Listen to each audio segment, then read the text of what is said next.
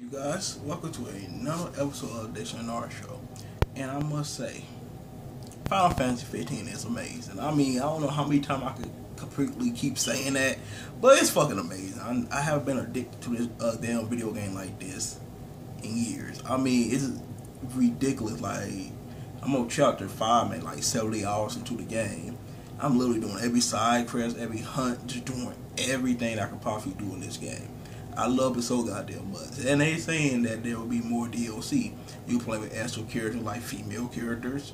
We all heard about that. Some people are like, well, some females was complaining like, this is the first time in the series that this happened.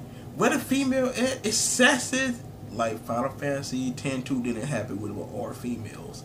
But I'm gonna talk about that in another video, probably tomorrow. But anyway, more DLC coming in. You can in like probably like um, well, what her name? Iris, Iris, Iris. You probably play with her, or you probably might be able to play with Luna. You probably might be play, able to play with Oracle Girl or some other character, Sadie, Cid, who knows.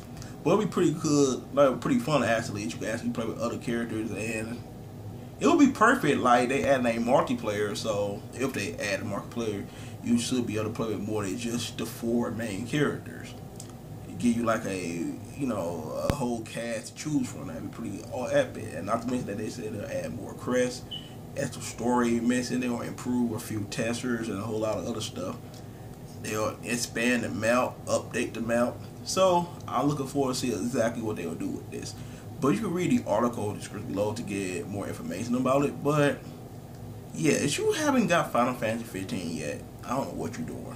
Buy that game. Seriously, buy that fucking game. It's just that fucking good. Final Fantasy is officially back. But anyway, tell you guys thank. Make to rate, comment, and subscribe. Subscribe. I'm sorry, I just woke up. My bad.